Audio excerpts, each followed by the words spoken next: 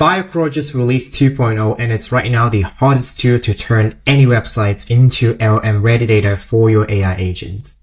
In this video, you'll learn all the essential features about Firecrawl as well as the new AI agent designed to smartly interact with websites. Okay, so here on the left hand side, we have a list of Firecrawl features and I'm going to use an analogy of navigating through the library system to explain how these features work in action.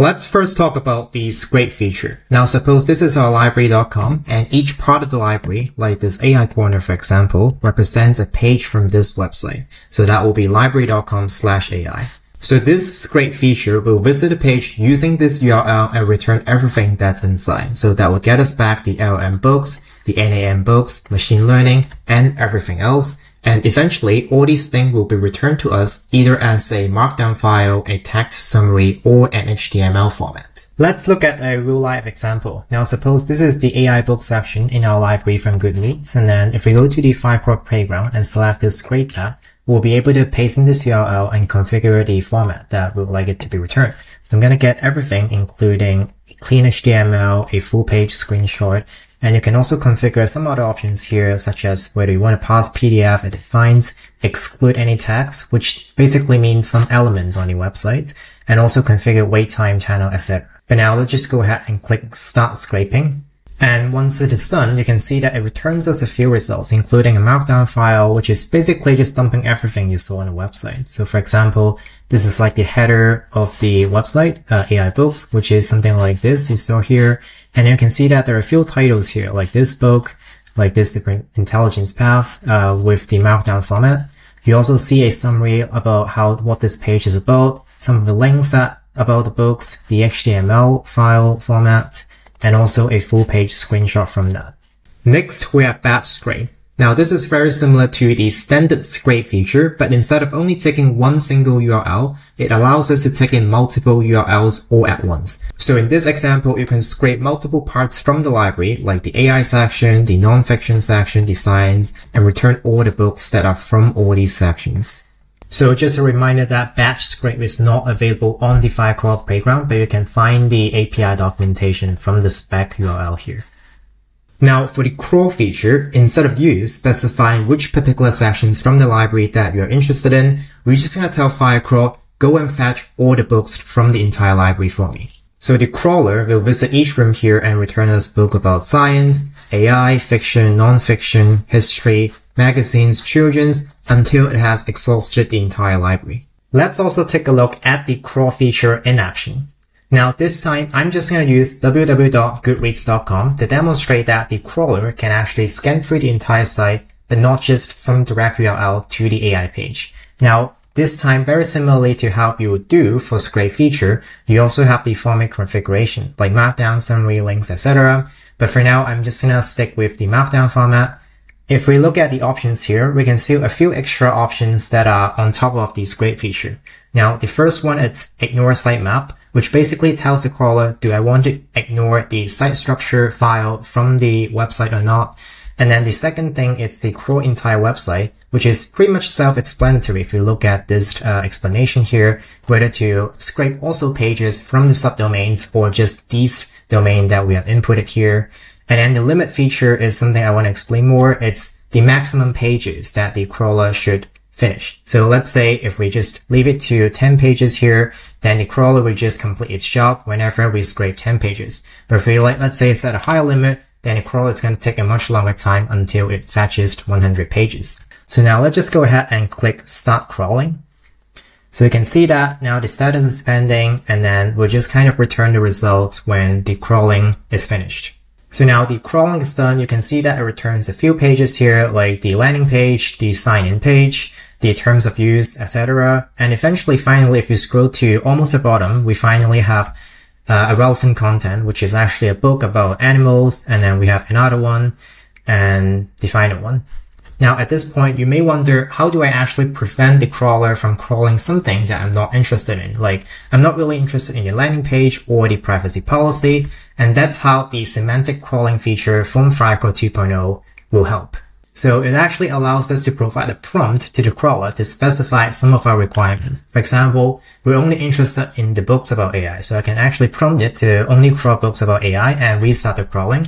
And let's see how the results will be. As expected, we get more relevant results and you're free to expand on the prompt to give you even more relevant results based on your preferences. Now, since crawling usually takes much longer time and most of the time we don't even need that large amount of content to start with. So that's how the map feature will be useful. Now, instead of crawling the entire library's content, the map feature will only return us the structure of the website, which means all the URL paths that are associated with this domain. Now, with this list of URLs, you can now do a powerful AI workflow like asking the AI agent, can you find me all the books about LLMs? And then the AI agent will decide that the books is most likely going to be from this URL page, which represents the AI section. And then instead of just scrolling the entire library's content, it can instruct Firecrawl to only do a single scrape for this AI section. And the result is just like 10x more efficient and less costly. Now, if we take a look at the map feature here, now we provide the home directory for the Goodreads shelf and start mapping. And then what it does is that it returns a list of links or a list of URLs that are the directory items for the shelf. So for example, we have the first link that we have used, um, the shelf slash show slash AI, which represents the AI books directory. We have algorithms, we have like tech stack, we have mountain romance, whole bunch of other directory items that are in this domain. Moving on, we have the search feature, which has two essential properties. Number one, instead of providing URL as an input, would expect a natural language query as a text, and then Firecrawl would decide on what sources that it will scrape from. Now second, with those sources determined, Firecrawl will return us content from all those multiple sources, and those sources could be coming from images, it could be coming from webs or news articles. So in this library example, we will start with a natural language query, like, can you find me some popular books about LLM? And then Firecrawl will decide that, okay, I'm going to search through library1.com, library2.com, library3.com, and then just return all the books about LM inside their respective AI sections, like so. And eventually, the markdown file in the result will just contain all the books that are from the free libraries. To see the search feature in action, we can now head to the playground again and go to this search tab and just input a natural query here, like I'm interested in books about AI and LMs. And then we're able to configure the sources, such as whether we want only web pages, we want images, news articles, and similarly, we can also configure how many pages that the search feature should return. So now I'm going to stick with the default option and just start searching. So the results actually return pretty quickly. So you can see that we have a Reddit link about some books about LLMs. We have a Medium article. We have some AI engineering books from some of the Substack blogs and a bunch of YouTube videos and other resources and Amazon links. With the Firecrawl extract feature, this is how things get a little bit more interesting. Now at this point, no matter whether you're using the scrape feature or using the crawl feature, Firecrawl is going to return you all the raw content as a markdown, HTML, etc. But most of the time, it contains too many unnecessary information. Now, for example, in my use case, I'm only really interested in the titles and the links from the books so that later I can Google more about them, find out their reviews, and decide whether I want to actually buy a copy from. So I don't need the authors, I don't need the, let's say, publication date and all those necessary information. So what I can do is that I can provide a schema to Firecrawl. Let's say it's going to be an array of titles and links like so. And Firecrawl will use the extract feature to only return us the titles and links from the scrape content in a structured JSON format.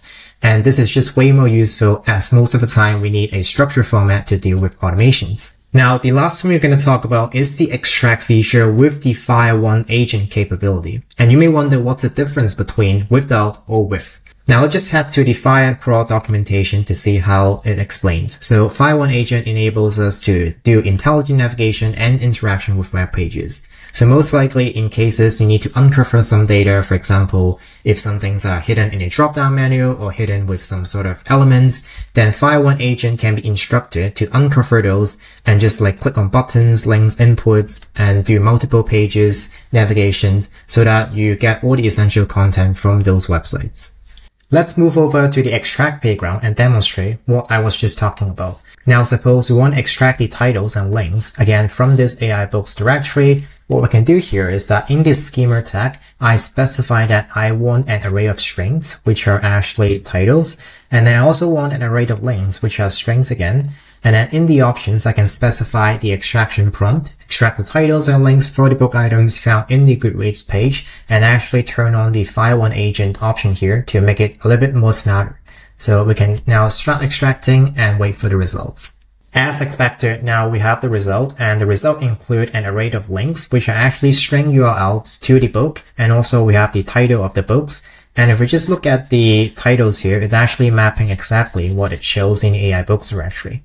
So at this point, you learn every concept about Firecrawl. Let's head back to n8n and see how we can build a workflow using its API.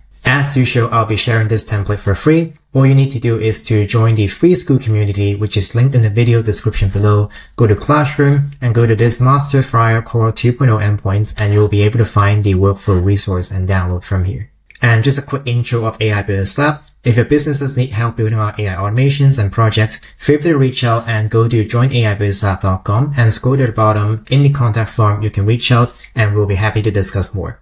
And finally, if you want to level up your AI skills and monetize with automations, we also have a paid community where we have a group of business owners sharing our wins and insights of selling AI automations. And inside the community, you'll also be able to find a structured learning path for n8n and some ready to use blueprints to kickstart your projects. Alright, so back to our workflow. I'm going to use an example of fetching the Goodreads AI books from the shelf. So you can see that there's a lot of AI books listed here. And what I'm going to do is to use the extract feature from Firecrawl to give me the titles and links and then feeding them all to the GPT-5 model and decide on which book I'm going to look for more based on my preferences. Now, to kickstart the workflow, I have a manual trigger as the first node, which means just when I click on this execute workflow, it will execute. And then secondly, I have the extract node from the Firecrawl community nodes. Now to use the community node, all you need to do is to go to n8n Cloud or your local version and search for Firecrawl. And you just have to make sure that you are using the latest version, which I believe it's 1.0.5 as the time of this video, which have access to the V2 endpoint. So in this case, it's going to be the extract data node. And if you click inside, then you will be prompted to create a credentials, which is the API key for the Firecrawl. Now, essentially, this is pretty easy. You just need to head back to the Firecrawl API keys tab and then copy this thing. And essentially, this is the API key to access the endpoints. And for this case, you can just leave the base URL as v2. And then in the operation side, you can have a lot of uh, options to choose from. But if you have chosen from the panel that I just uh, configure it, you should be able to land on this extract data operation directly. And now here is the custom schema that I provided. So the only reason I use a custom schema is that I want to provide the agent model to be Fire1 to handle some complex navigations, uh, which is not available at the moment from this community node, but everything else should be all good. And you can also see the prompt here. I have extracted titles and links for the best book in AI for me and everything else is just from the template JSON. So next up, it's a little bit more complicated procedure and we'll be using a technique that is called polling. The reason we need to use that is the extract with agent feature takes a longer time to complete and that's why we need to use another endpoint to actually get the extract status. And the way that we operate is that for every 15 seconds of wait, we'll trigger this endpoint once. And in case we already have some results, we'll call the AI agent node as the next step. And if it is not yet having a result, we'll just do another 15 seconds wait and try to get the status in the loop format until it actually gives us a result. So in this case, uh, when you know the status is equals to complete, completed, we hit the true branch, and eventually we just pass all these data links to the AI model. And then with this prompt, I'm interested in learning the basics of LM. Could you pick three books from the list? That are most suitable for me. Together with all those JSON data, GPT-5 Mini is able to provide me with a summary of which books that I should be looking into. For example, like this 100-page machine learning book uh, with this offer and explain why is that and essentially just giving me a holistic summary. So that's it for today. I hope you guys learned a thing or two. And as usual, if you like this video, please like and subscribe and it will really help the growth of channel so that we can deliver more high quality content like this. See you next time.